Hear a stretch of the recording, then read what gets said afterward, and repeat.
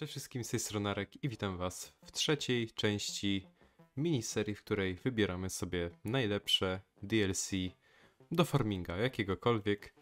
I ostatnio, jeśli pamiętacie, mm, omawialiśmy sobie dodatki do 15, 17, a dzisiaj omówimy sobie te 19, i jeśli oczywiście czas pozwoli, 22, jeśli tak to mogę w ogóle nazwać. Z racji tego, że i tak już długo kazałem wam czekać na tę trzecią część, no to teraz będę starał się nie przedłużać. Jak widzicie, już od razu jestem tutaj na e, Steamowej karcie 19. I już sobie zobaczymy, co 19 mm, miała, a tak naprawdę miała sporo, bo był to pierwszy chyba farming, który tak długo był na rynku, zanim pojawiła się kolejna część. Dlatego też zobaczcie, że tych DLC tutaj jest naprawdę sporo. Więc przejdźmy sobie może do pierwszego z nich. E, mamy tutaj dodatek Alpin. E, wszyscy wiemy chyba, co to za dodatek. W 22 jest większość, większość maszyn z tego dodatku. Jest też oczywiście mapa. Mm, Dlatego nawet jeśli ktoś w 19 tego dodatku nie miał, to tak naprawdę może się nim cieszyć e, w podstawce 22. Cześć, nie wiem czy przed chwilą widzieliście, ale na Steamie są różne promocje na dodatki do farminga i tak dalej, i tak dalej. Ale wstrzymajcie się, nie idźcie na Steama. Myślę, że jest o wiele lepsze miejsce, żeby znaleźć te wszystkie gry, dodatki jeszcze taniej. Jest to Instant Gaming, na który serdecznie Was zapraszam. Zobaczcie, że tutaj praktycznie cały czas macie większe lub mniejsze promocje. Mm, Na przykład na dodatek Platinum do 22, na Season Pass do FSA 22, czyli taka paczuszka, dzięki której macie wszystkie DLC, które mm, w nadchodzącym roku wyjdą do 22 E, Macie je w jednym miejscu, już nie będziecie musieli kupować ich osobno. No i jak sobie przeskrolujecie, wpiszecie tutaj na przykład właśnie Farming Simulator, no to zobaczcie ile tego wszystkiego tutaj jest i jakie promocje na Was tutaj czekają. Cóż, pozostaje mi tylko e, odesłać Was do linku w opisie, żebyście sobie sprawdzili, mm, co tutaj na Instant Gaming możecie znaleźć. I nie przedłużam, lecimy dalej z odcinkiem. Życzę udanych zakupów, jeśli ktoś już się skusi. No i kurczę, e, sam dodatek, pamiętam, że pomimo tego, że w żaden sposób go tam jakoś nie hejtowałem i nie narzekałem na niego, tak jakoś troszeczkę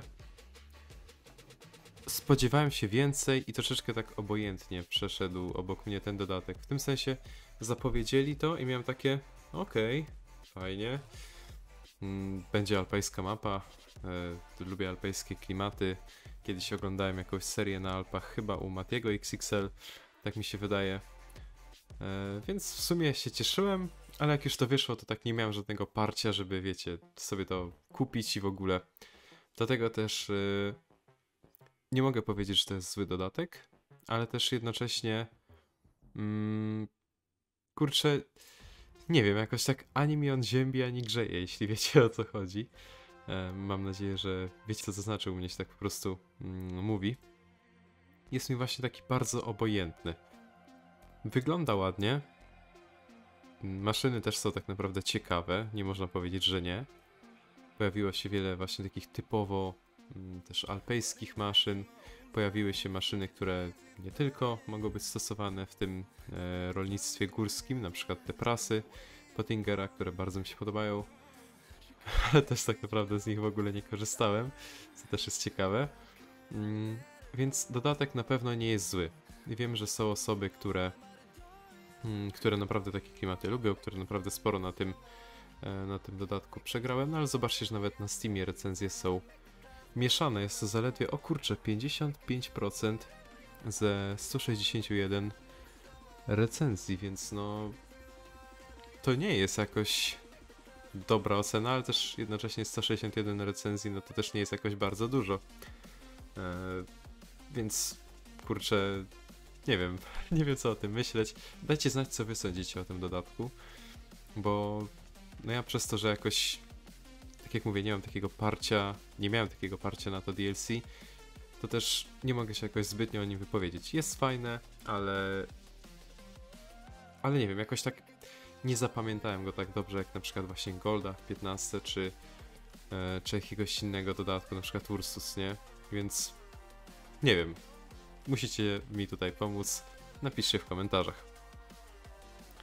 Dalej. E, dodatek Platinum. Dodatek Platinum jest jednym, myślę, że właśnie z lepszych DLC, jakie, jakie wyszły do jakiegokolwiek farminga. Dlatego, że to był chyba pierwszy taki mm, dodatek, w którym dostaliśmy zupełnie nową markę.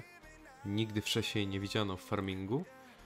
Przynajmniej mm, jeśli chodzi o oryginalne maszyny, bo wiadomo, że klasy były jako e, maszyny dostępne jako mody. Ale no nigdy wcześniej nie mieliśmy do czynienia z oryginalnym klasem prosto od e, właśnie twórców. I jak zapowiedzieli właśnie to, że klas ma zawitać do farminga, no to tutaj, tutaj już naprawdę pamiętam, że się mega jarałem, bo uwielbiam klasy, szczególnie ich e, kombajny.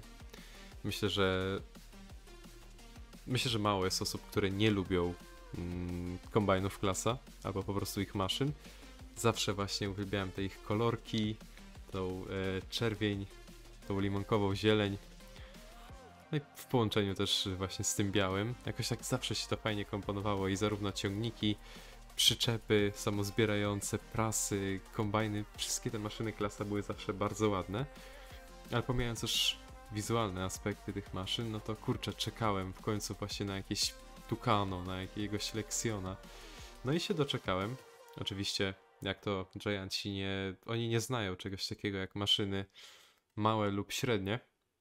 Więc jak już dali Tucano, no to nie dali Tucano 320 czy tam e, 340, tylko je, od razu 570, największe Tucano jakie było na rotorze.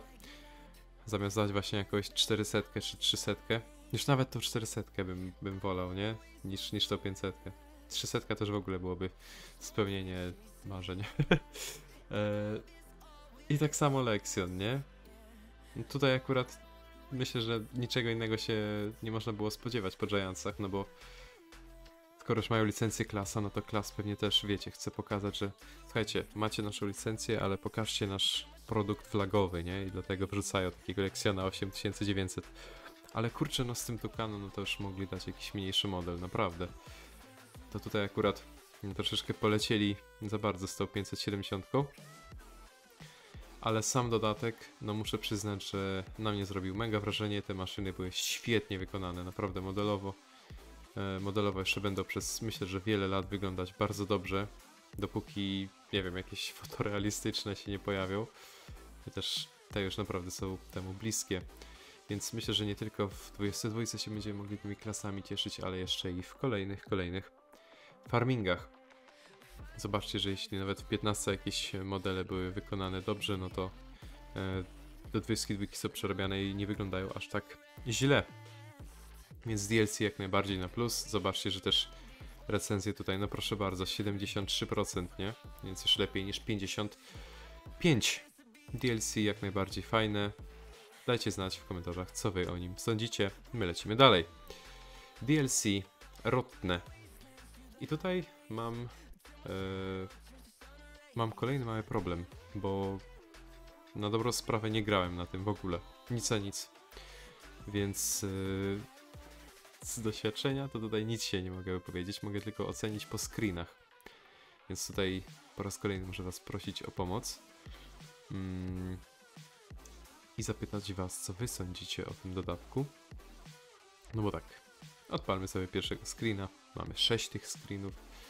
No to co? Tutaj mamy jakiś chyba forwarder się nazywało. Mam nadzieję, że dobrze zapamiętałem, bo jak nie, to będziecie mnie musieli opierdzielić, że nie zapamiętałem. Tutaj kolejny screen. Bardzo ładnie wygląda. Kolejny, kolejny, kolejny. No i tak naprawdę wszystkie wyglądają podobnie i prezentują tylko dwie maszyny, bo chyba tylko te dwie maszyny tutaj były. No właśnie. Forwarder i Harvester. Więc y, nie było to duże DLC, było to typowe takie wprowadzające dosłownie, wiecie, jakieś tam maszynki konkretne, mm, bez jakiegoś większego właśnie takiego package, jak w przypadku klasa. No, recenzje mieszane, tutaj mamy 60%. Nie wiem, ja się tutaj wypowiedzieć nie mogę, ale na pewno myślę, że co mogę stwierdzić już teraz, to to, że No, maszyny wyglądają na ładne, tak? Nie można im tego odmówić, że, że mają zły model. Zobaczysz tutaj też gąsienice. A raczej nie gąsienice, tylko te mm, nakładki na opony. Nie wiem w sumie, no, wygląda to jak gąsienica i typowo się z tym kojarzy, ale jak to fachowo się nazywa, nie wiem. Mam nadzieję, że gąsienice to też już jest w 3D. Ale no, co by nie było, jakie to by nie było dobre DLC, no to myślę, że dwie maszyny, nawet gdyby były wykonane najlepiej na świecie, nie zasługują na miano najlepszego dodatku do tej gry. Lecimy więc dalej. Grime.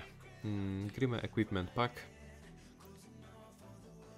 I to DLC, jak mam być szczery, też mi kurczę jakoś tak pod radarem, nie? Przeszło. Totalnie nie, nie pamiętałem, że coś takiego było w ogóle. Więc zobaczmy sobie właściwie, co tutaj było dodane. Chwastownik, chwastownik, chwastownik, sadzarka do ziemniaków, sadzarka do ziemniaków, kombajn ziemniaczany, kombajn ziemniaczany, kombajn ziemniaczany, kombajn ziemniaczany, przenośnik pasowy, przenośnik pasowy, przyczepa, przyczepa, zbiornik odbiorczy.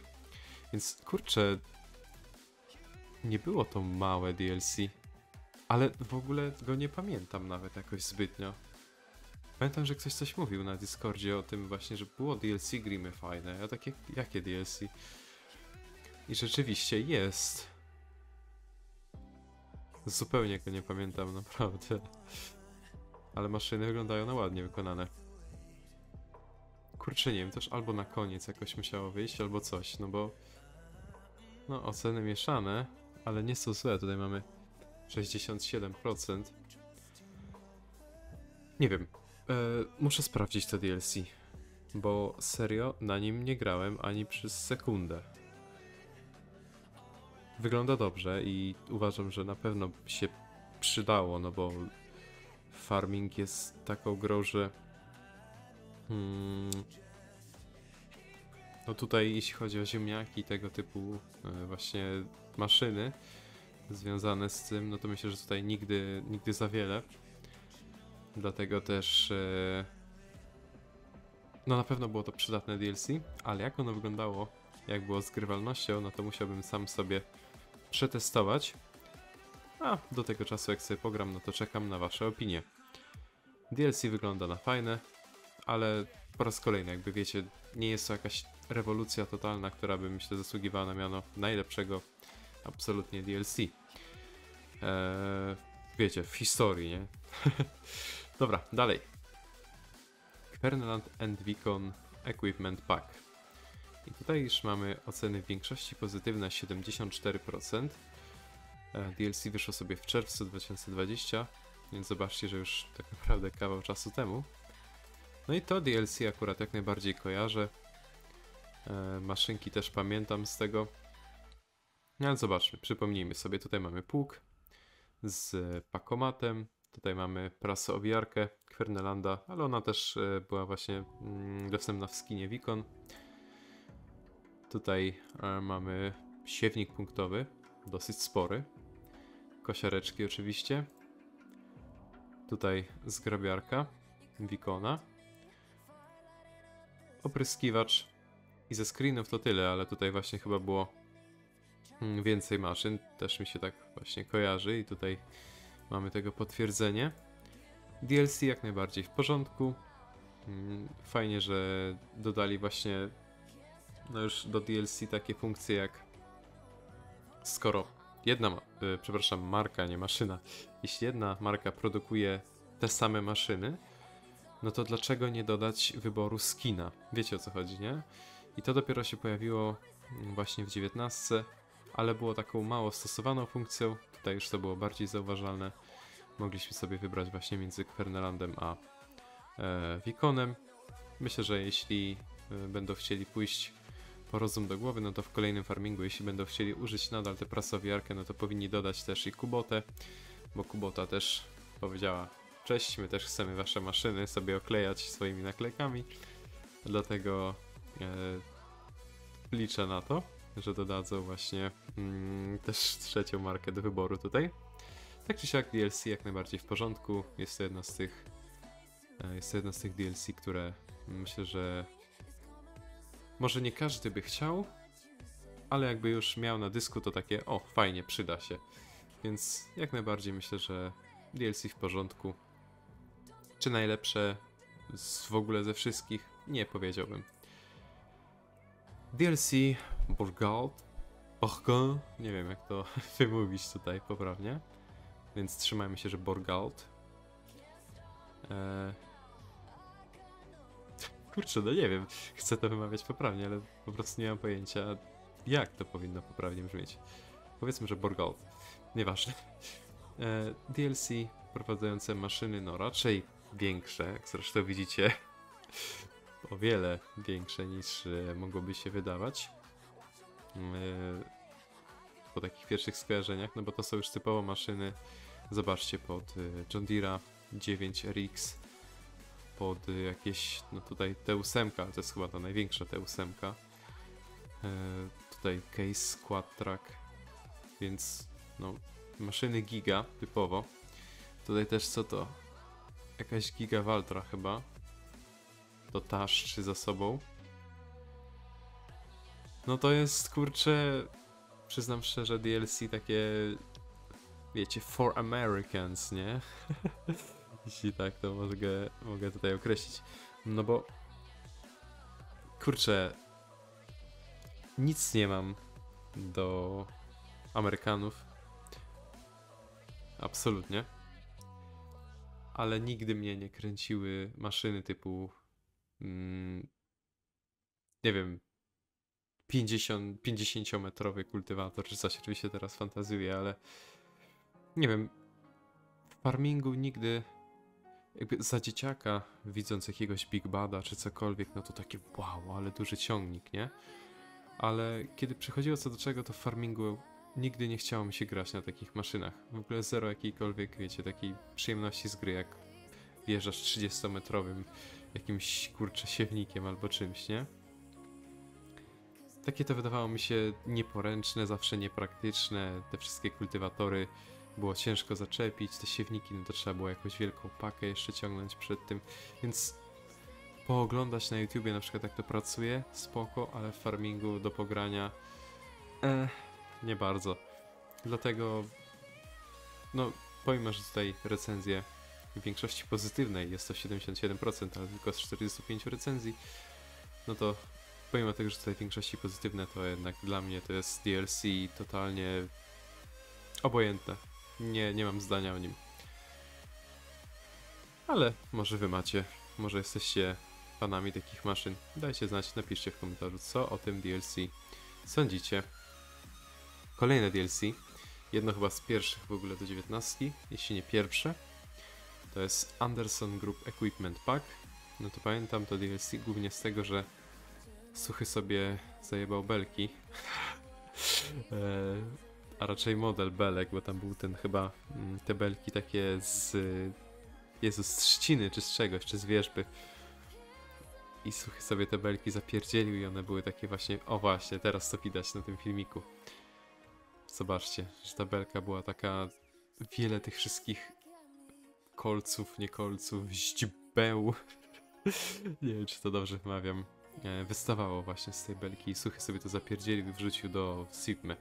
Że wiecie, że taka belka niby słabo zbita. Więc no, z tego najbardziej pamiętam to DLC.